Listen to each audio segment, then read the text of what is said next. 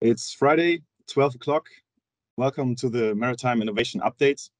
Today, my colleague Julius Küchle from the group Ports and Transport Markets here at the Fraunhofer Marit Center for Maritime Logistics will be talking about value creation through peak shaving. I would like to remind you that this MIU is being recorded, so please leave your cameras and microphones switched off. And one last announcement before we start with the presentation. Uh, questions can be asked in the chat and will be answered by Mr. Küchle at the end of his presentation. That being said, I hand over to you, Julius. Thank you, Alex, for your very kind introductory words. Um, so let's dive right into it. Um, value creation creation through peak shaving. Uh, here we go. Um, so let's start with a bit of a definition. What is peak shaving? Um, basically what we see here is a load curve and as the name suggests we have a peak load at the very top of that curve. This means this is the highest load that we um, record over the given time frame. Um, now what is peak shaving? Peak shaving is therefore a method of load management. Um, why is that important? Why do we do it First of all, in our national energy grids, supply has to meet demand at any point of time. This means that um, any energy provider will have to adjust their production always based on the momentary demand in the grid. Um, since this can be very difficult to do and especially cost intensive to do for irregular load curves in the grid, um, they incentivize the um, companies and industrial consumers to have less irregular loads by um, having introduced a fee that is based on the highest load recorded in a billing cycle. Um, and they call it this, uh, they call this the network usage fee or the grid usage fee.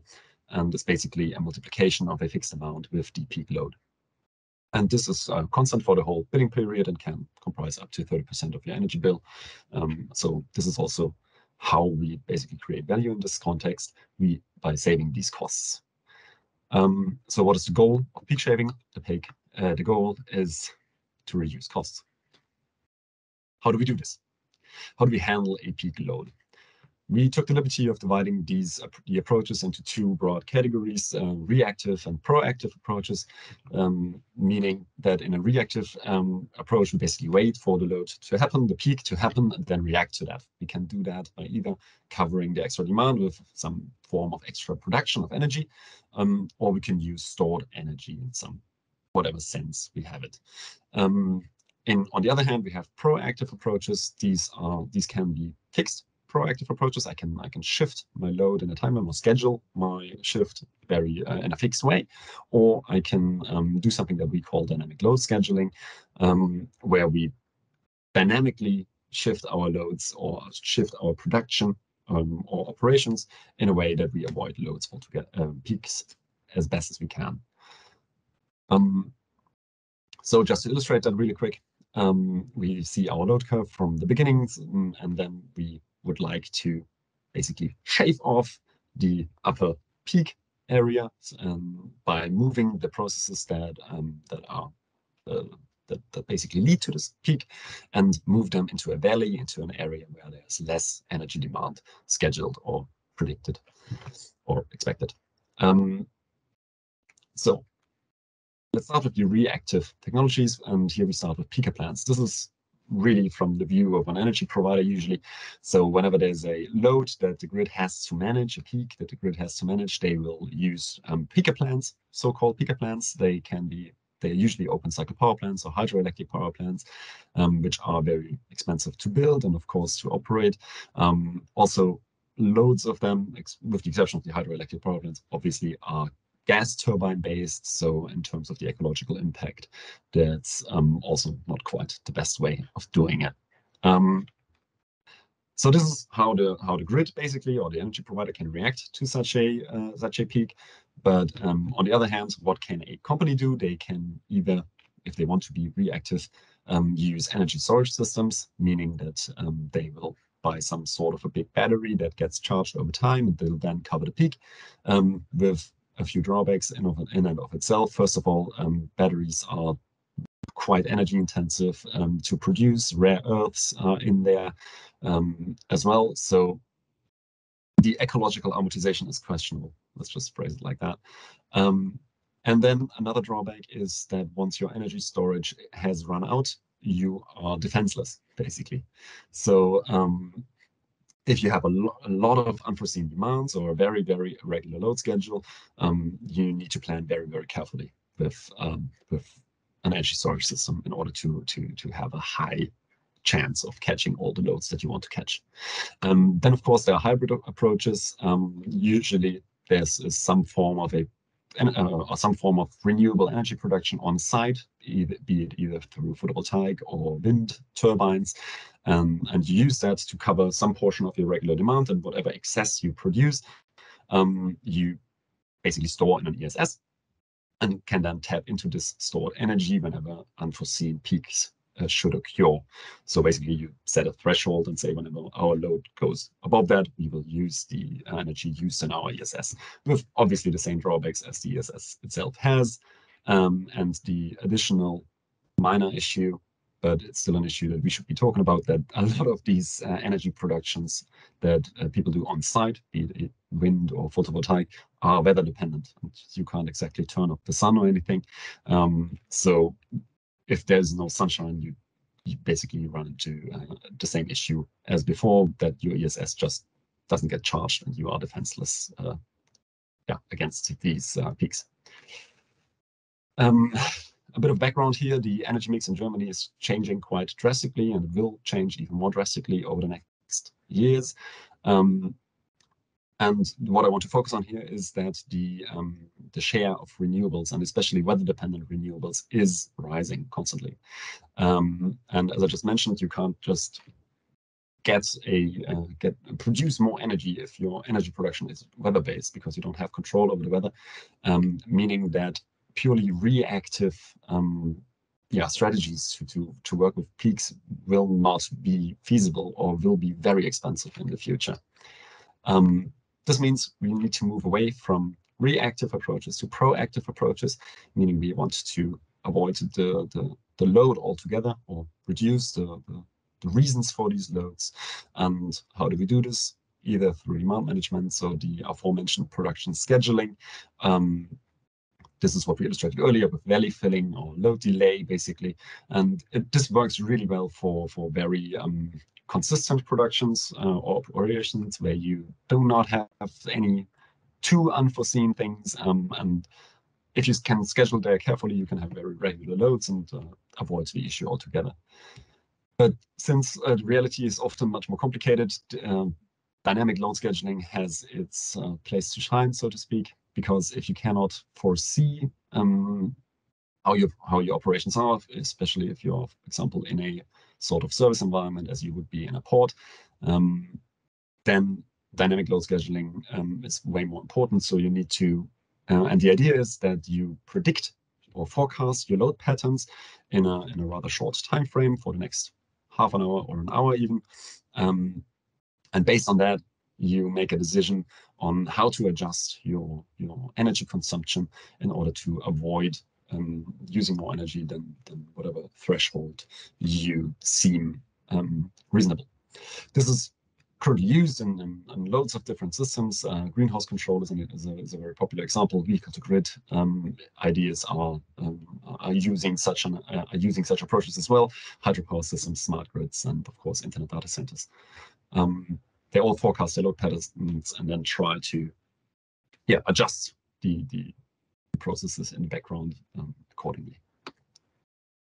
Where do we see potentials and ports? Um, there are three main areas. Of course, there's more than that, but those are the three most promising areas in ports. Um, this is first of all STS uh, cranes or cranes in, in general, um, they, which usually consume the biggest amounts of energy when they are being started up. So just um, by looking at when a, a crane is used and um, trying to start them up asynchronously can already help to avoid quite tremendous peaks.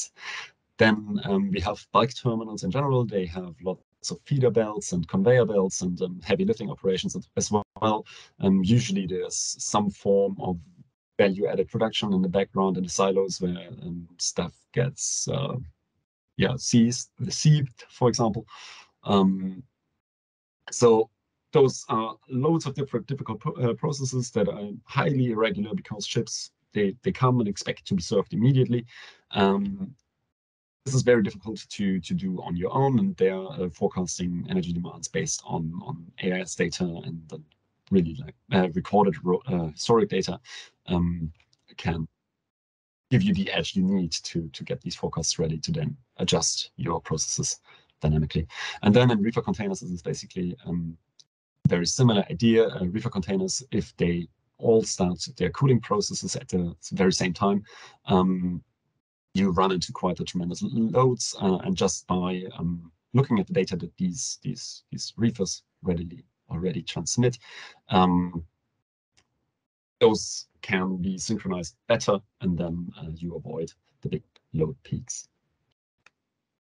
So what are the key takeaways here? Um, we have peak loads. Peak loads can constitute up to 30% of your energy costs, um, and they can be reduced through load management. Um, how can we shave those peaks? Uh, either through re reactive measures, meaning peaker plants, ESS systems, hybrid solutions of the two. Um, the drawbacks are usually in the construction costs uh, here and in the, in the amortization, ecological amortization especially. Um, there are proactive solutions as well. The proactive solutions usually um, employ some sort of scheduling of, of operations. Um, in the best case, it's dynamic scheduling. Drawbacks here are that we really are dependent on a high forecasting accuracy.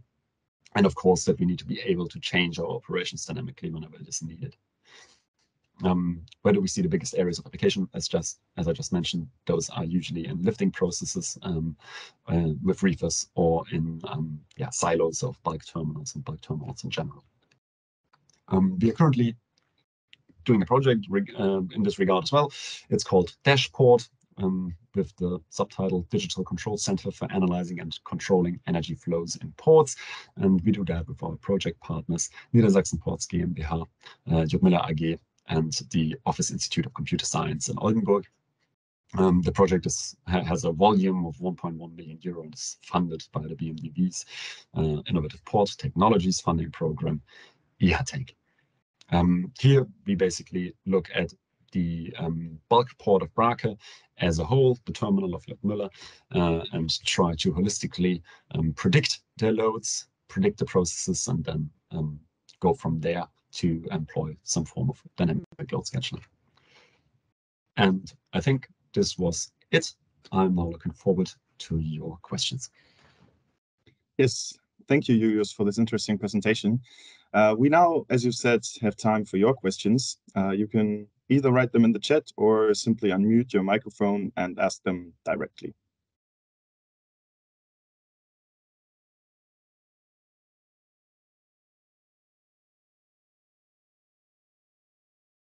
I don't see any questions in the chat. And if that's the case, I cannot hear anyone. So I've got a small question for you. Um, you mentioned the proactive approach in Dashport. How exactly do you create the high forecasting accuracy, which you mentioned is important in terms of dynamic load scheduling? Um, yeah, okay. And in the context of Dashport, we employed or deployed about 500 smart meters and um, uh, I'm, I'm not sure of the English acronym, but uh, SPS systems, which are basically uh, small computers that are, have had already been deployed in the in the whole silo of J. Müller.